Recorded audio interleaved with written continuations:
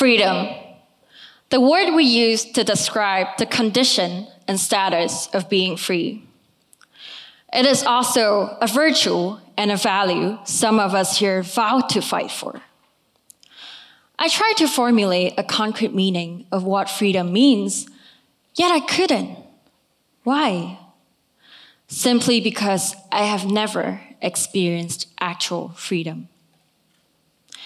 25 years ago, I was born in Hong Kong at a time when the city was undergoing a transfer of sovereignty from the British to the notorious Chinese Communist Party.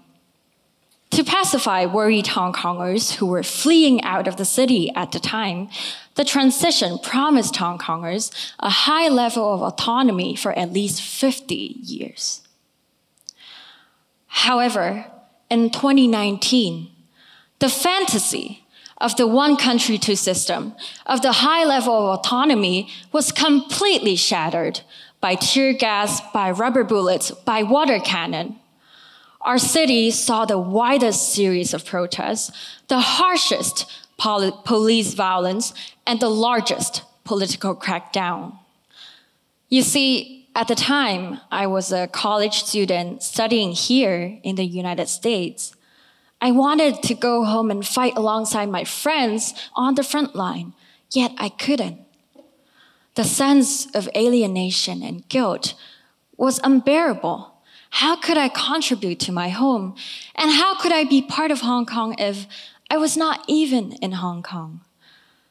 And besides, I was never a part of any political party or student government in Hong Kong. So politics have always seemed so far out of reach. Yet, I found a way online. So I, someone that nobody knew, gathered a bunch of netizens that nobody knew to lead an international campaign. We all had silly aliases like Winnie the Pooh or Baby C, and behind all these names, we were people like office clerks, artists, stay at home dads, or students like myself. Sure, we have been to protests before, but we have never really done anything bigger. Yet, in 2019, we crowdfunded millions of dollars within hours to post full page advertisements in newspapers around the world we were even targeting at global leaders at the G20 summit at the time. Can you imagine a bunch of netizens who didn't even know each other doing that together? And the entire process, from gathering the netizens to raising money to publicizing the ads, had over 150 volunteers, and it only took five days. Afterward, our army of netizens started monitoring on the ground, real life police locations while reporting to our frontline protesters. Every day, I had to watch nine protest videos at the same time just to see where the police are stationed and where they're moving. And honestly, I felt like a CCP agent doing surveillance work at the time. But really, in 2019, we were building a new sort of movement that would reimagine Hong Kong society. That hopeful imagination, however, was short lived. Not long after, the dictator struck with the national security law that would give the government authority to arbitrarily arrest anyone for absolutely anything. Right now, Hong Kong has more than 1,100 political prisoners, more than 10,000 political arrests, and many more fleeing and leaving out of the city. People I worked with got arrested. My team was disbanded. And all of a sudden, I became this odd duck or kind of a lone wolf in the overseas community Nobody knew what I did or who I was. All this time, I was behind this anonymous profile, and I never really told anyone, not even my closest friends. Fear, trauma, depression, they sucked all the words out of me.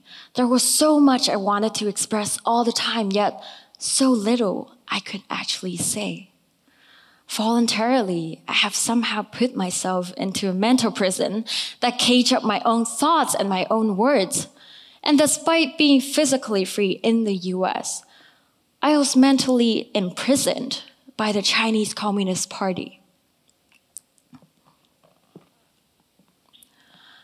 You know, freedom is not just about physical freedom. Freedom is about exercising your mental freedom. Freedom is about being able to leave your fears behind and act fearlessly. It reminds me of the 2019 movement in Hong Kong, where people would get rid of the conventions and hierarchy, they would think out of the box, and they would act fearlessly. And that exactly was what I did to escape from my very own mental prison. A few months ago, I came forth with my personal story as an anonymous activist for me to get rid of the fears that have captured me. But also, it was a political act to call upon other Hong Kongers, especially those who have been drenched in the same sort of fear to realize that they can still exercise a sort of mental freedom and with that newly gained consciousness, we can start taking our destiny and our life back into our own hands by rekindling a sort of imagination. What kind of Hong Kong do you want to see? And that question applies to societies around the world as well. What kind of society do you want to see when the dictators are gone? And what about our global society? Now, this is an essential question. In places with dictators like the CCP, our mental capacity to think, really, is the most powerful weapon we can have against them. In history, we have seen how social movements win dictators one day, but on the next day, they lose to another one again. And to prevent that from happening, we all have to stretch our mind a little so instead of focusing only on the regime we really, really, really want to take down, we also have to zoom out a little and think about the kind of society we actually want to see in the future.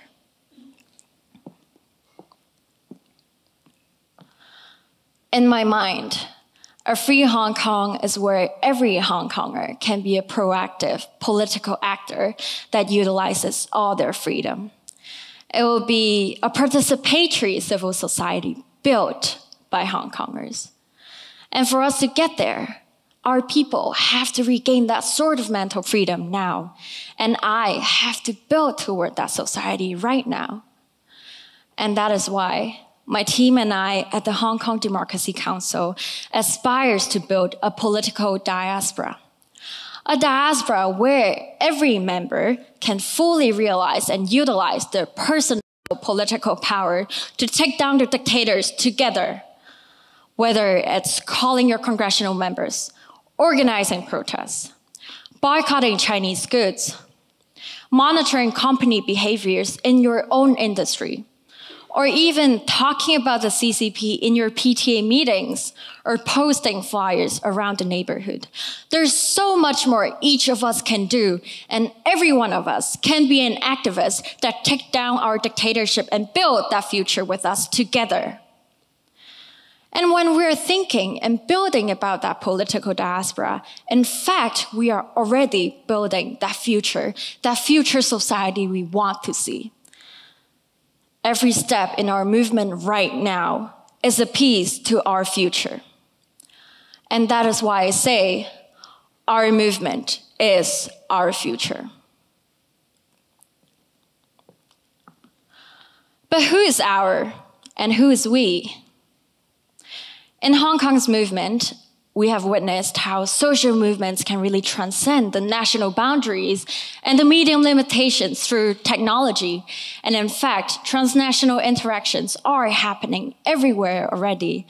Look at how countries influence each other heavily, how dictators are cooperating across borders, and how our movements have been impacting each other greatly as well. For instance, Hong Kong's movement was inspired by the Arab Spring, by the Ukrainian Revolution, by the Taiwanese Sunflower Movement, and even by Occupy Wall Street in this very city. And similarly, Hong Kong's movement was referenced in the Catalonian Revolution, in the Chilean protests, and even in movements from our friends in the Milk Tea Alliance. You see, all this time, how we have been building upon each other's efforts and how we have been actually building a movement together. And that is why Hong Kong is not just about Hong Kong or its movement. No, it's about the global movement for freedom that is struggling against totalitarianism around the world. There's nothing such as a partially free world. Partialness does not exist in freedom. The world is either free or not free. And that is why we have to fight for our collective future together. Our movement is our freedom. Our global movement for freedom is our global future of freedom. Now close your eyes, please, and imagine a world where everyone can get to enjoy freedom no matter where they are. When you read the newspaper, you wouldn't see that people miles away from you are suffering from a kind of freedom that you are enjoying or fighting for that freedom and cause suffering that you are enjoying. Now open your eyes and look around you. Look at the people around you in this room. These are the people that will be building that freedom, that future with you together because we have already started right now. Our movement is our future. Our global movement for freedom is our global future of freedom. Let's fight for our future collectively together right now. It will be a long battle. The dictators will go down, and we will make our freedom and our future happen. Free all people. Thank you.